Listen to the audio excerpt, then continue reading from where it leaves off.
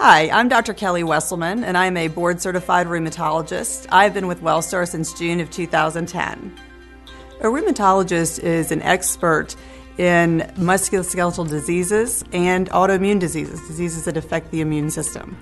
Most of our patients are patients who have uh, joint pain, that can be from rheumatoid arthritis, lupus, psoriatic arthritis, gout, osteoarthritis. Rheumatology is a specialty that uh, requires quite a bit of detective work and digging for all the pieces of the puzzle to put it together to try to uh, formulate a diagnosis.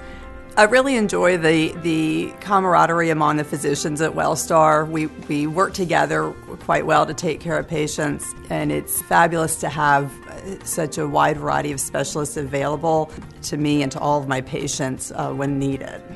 The best thing about my job is the patients that I have the opportunity to care for every day.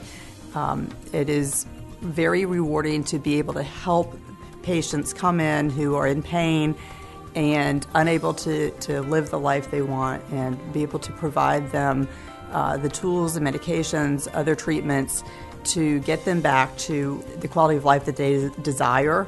And that long term relationship uh, really is the most meaningful aspect of my job.